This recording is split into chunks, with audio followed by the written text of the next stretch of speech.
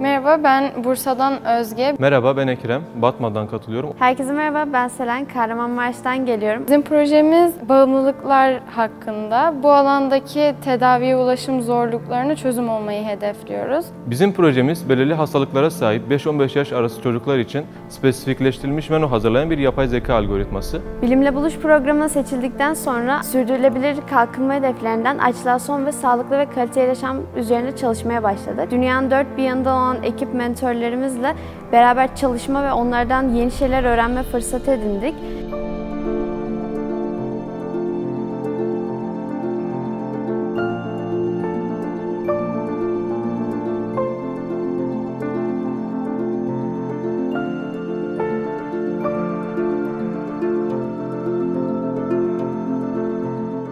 Şu anda da Anadolu'nun farklı yerlerinden 25 arkadaşımla beraber bu kamptayım.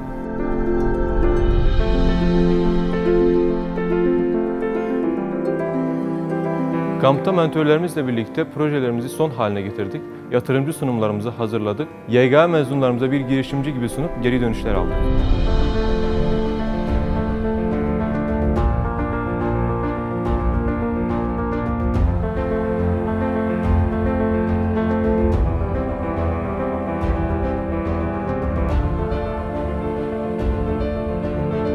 Kampta YGL girişimlerini ve hayal ortaklarını dinledik ve aynı zamanda kampta yaptığımız bütün seanslarla eğlenme ve kendimizi tanıma fırsatı edindik. Sunum günü gelince çok heyecanlandık. Üzerinde aylarca çalıştığımız sunumu jürilere sunmak bambaşkaydı. Seçilmesi durumunda Bayer ve YGA tarafından hayata geçirilecek.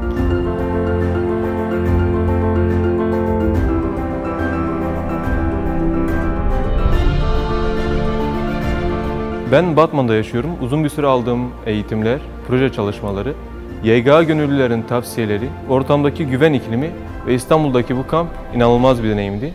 Bunun için YGA ve Bayer'e teşekkür ediyorum.